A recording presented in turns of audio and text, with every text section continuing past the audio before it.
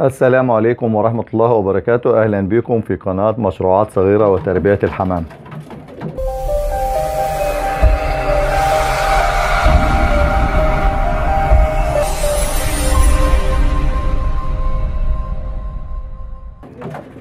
موضوع فيديو النهاردة موضوع مهم جدا جدا جدا اللي هو جدري الحمام والجص.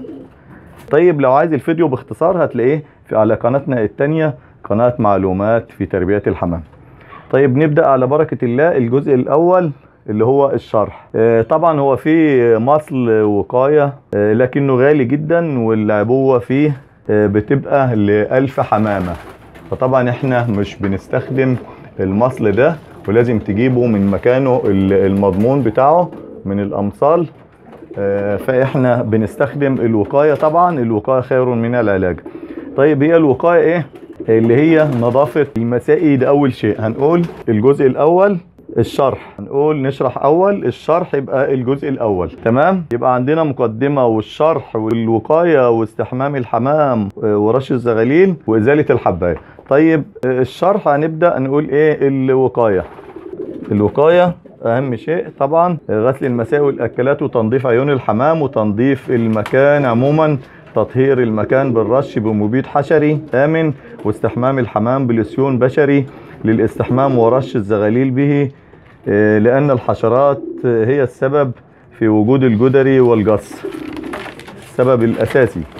آه، كل هذا من أجل الوقاية بس لكن إذا ظهر عندك حباية في زغلول ماذا تفعل؟ طيب نبدأ آه، نتوكل على الله.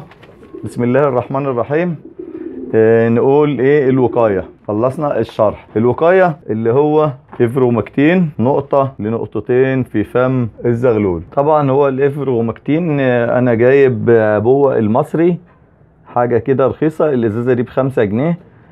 ده هدي نقطة في الفم في فم الزغلول كل عشر أيام يعني هنبدأ مثلا في الزغلول من عمر أسبوع وبعد كده نديله نقطة من آه، عشر كل عشر أيام. ده آه، وقاية جيدا مش هيخلي يظهر عنده الجص مش هيطلع فيه حباية. طيب ده فيه منه زي ما قلنا أنا هسيب لك صورته. ده المصري وفي منه أنواع تانية وفي منه الأنواع الاجنبي هسيب لك برضو صورة الأنواع الأجنبية لكنه غالي يعني وممكن ما تلاقيهوش. فإحنا جبنا النوع المصري اللي هو المتاح اللي كل الناس ممكن تلاقيه. طيب بيستخدم إزاي؟ النوع ده ممكن تستخدم منه نقطة إلى نقطتين. في الفم زي ما قلنا هنقول مثلا زغلول معانا من العمر ده نبدأ نديه نقطة. لو كبير شوية ممكن تعطيه نقطتين. نفتح كده الفم وناتي نقطة. بس تمام. لو بقت نقطتين ما تخافش يعني. هو ده يا جماعة بيستخدم آه، في علاج جرب الحيوانات. فعشان كده ما انتش ما يعني ما تكترش منه. وممكن يتحط في الماء. يعني هي الدكتورة اللي أعطتني الدواء ده قالت لي إن هو ممكن يتحط في المية. ده نقطة برضه. نات كل زغلول نقطة.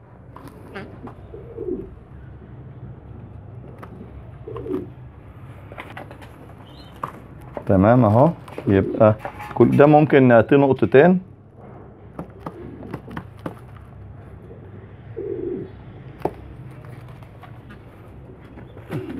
معانا كمان زغلول اهو. يبقى كده عشان إيه اتأكدنا ان بالطريقة.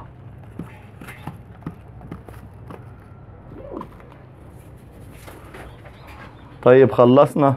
الدواء ده اللي هو نقطة في الفم ده وقاية. كل اللي إحنا بنعمله ده وقاية. في معانا كمان آه، ده تركيبة من عند الحاج أشرف خضير صاحب محلات أفندينا لمستلزمات طيور. طبعا ده في دمياط. هو طبعا تركيبة خاصة هو عاملها. آه، تعمل منها تنقط منها على الزغلول. ده بدل الاستحمام يعني لكن هوريكم الطريقة دي. والطريقة دي اللي ما عندوش ده هقول له يعمل إيه؟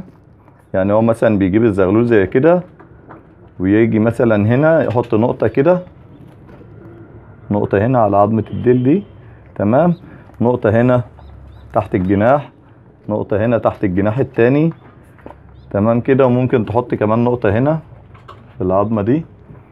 كده يضمن إن ما يجيلوش أي حشرات. تمام؟ عملنا كده. في لو أنت ما لقيتش ده هتعمل إيه؟ معانا دي بخاخة إزازة فاضية. جيب أي بخاخة من عند حضرتك فاضية أي بخاخة. معاك. عندك اكسومترين اللي إحنا بنستخدمه في استحمام الحمام الكبير. هتاخد سنتي من ده على أربعة سنتي مية. سنتي من اكسومترين ده بش بشري. سنتي على أربعة سنتي مية وتحطهم في بخاخة زي كده وتجيب الزغلول اللي أنت عايز ترشه. من هتعمل كل الزغاليل بالطريقة دي. ده إذا ما وجدتش النقط اللي قلنا عليها دي. معانا هون بخ. نرفع الجناح. نرش الريش تمام؟ نرش الجناح التاني بفرده تحت الجناح. الديل. خلاص كده رشينا منه الزغلول. بالطريقة دي هنرش كل الزغاليل. طيب كده عملنا جزء من الجزء التاني فاضل الاستحمام. يبقى اللي هو آه، ده تبع استحمام الحمام رش الزغاليل واستحمام الحمام. هنحمي الحمام من ده برضو. اكسومترين ده هنحمي منه الحمام الكبير. بعد ما نرش نرش الزغاليل ونحمي الحمام الكبير. على فكرة ممكن تحمي برضو الزغاليل معاك لو تمسكها وتحميها بإيدك في نفس المية اللي هتحمي منها ده. طيب نروح على المية ونحط فيها الدواء بتاعنا. اكسومترين أنا فتحت الازازة أهو. نروح عند المية. أنا جهزت المية أهو. نفتح العبوة دي أدي المية. معانا لما يكون الإزازة دي لو حضرتك الح... الحمام فيه حشرات لو في حش- حشرات حط نص الإزازة. لو مفيش حشرات أنا بحط إيه مقدار غطا على الجردل ده حوالي 20 لتر أهو حط لهم غطا. هو المفروض سنتي على اللتر في. في الاستحمام الحمام. وما تخافش لو الحمام شرب منها. فأنا أحط مقدار غطا الحمد لله ما عنديش حشرات أو غطا لو زاد شوية مش مشكلة. تمام؟ عملنا المية بتاعت استحمام الحمام الكبير. هنفضي المية اللي عليها الدواء في العبوة دي.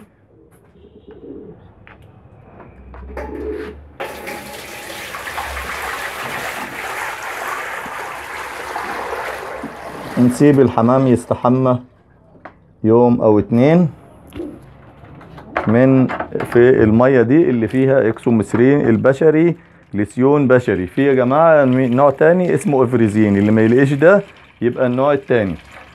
أو ممكن تلاقي إفريزين ما تلاقيش اكسومترين الموجود؟ المهم لسيون اللي بيستخدم في شعر في الشعر بشري للحشرات وللجرب.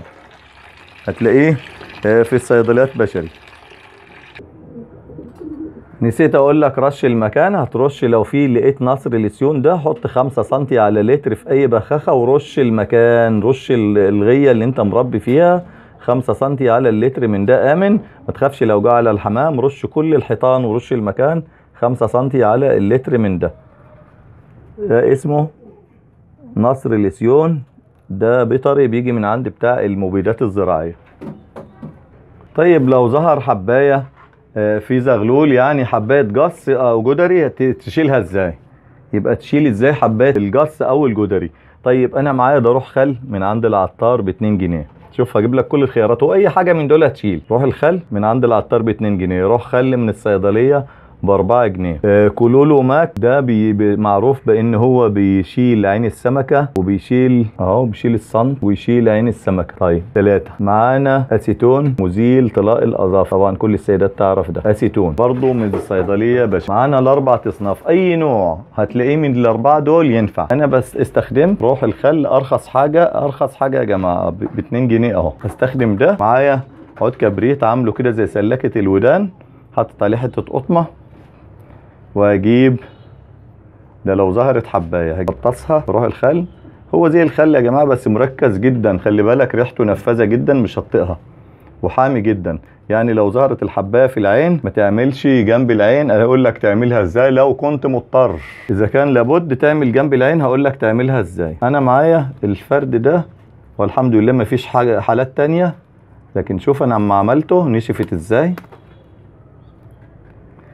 هتعمل كده مش هتعمل أكتر من كده.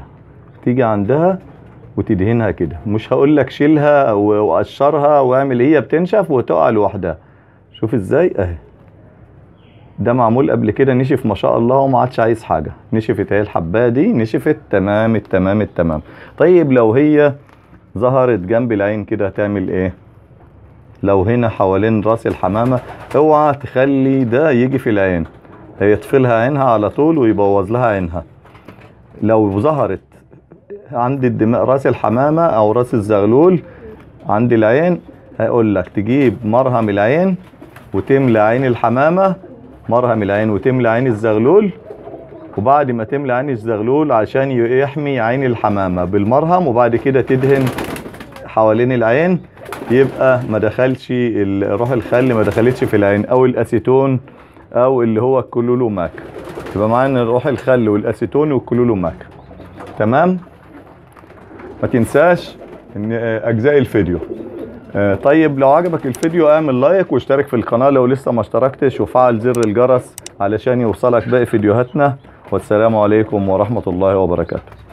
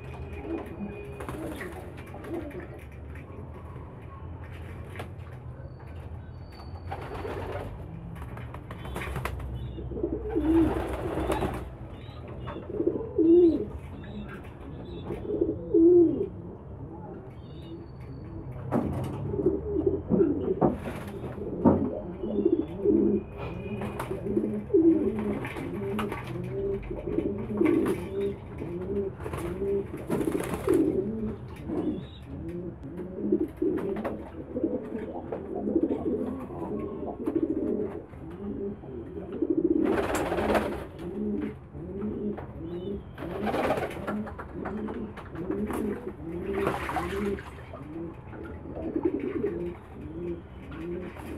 you.